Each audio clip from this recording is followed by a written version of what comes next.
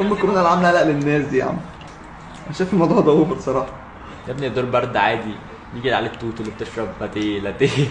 الحاجات دي ما يستحملهاش. إحنا بتاع شرب الطرنشات. هات الشاي بقى بتاعك ده. خد يا عم. يا ابني يا حبيبي ده حوار الصين عاملاه عشان تخلي أمريكا تبيع أسهمها في الصين بتراب الفلوس. أنا سمعت كلام عكس ده. سمعت الامريكا هي اللي عاملة الحوار ده في الصين أصلا عشان تبوظ لهم الاقتصاد بتاعهم. أنا شايف الهجمة ده أكتر عليك من الكورونا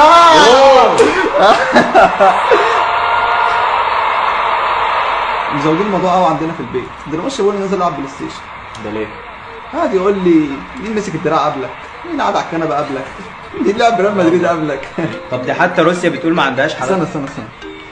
اكتم الصوت ده اخويا بيتكلم. اسمعوا بقى الأفورة اللي هتحصل. ألو. أنت فين؟ أنا مع أصحابي يا عم إحنا في اجازه طيب أبوك كنا بيه في المستشفى واتحجز طلع عنده كورونا. أنت بتقول إنتوا فين إحنا في ال- في المستشفى خلاص ومش هنعرف نشوفه في الحجر الصحي ممنوع الزيارة. الدكتور قال لنا إنه هيتحط في الحجر الصحي مش هيبقى مسموح إن حد يقابله. لو يشوفه هو حظه بقى. لو خف وعايش بخير الحمد لله. بعد الشر مات مش هنعرف حتى ندفنه ولا نحضر جنازته يعني انسى خلاص مش هتشوفه تاني.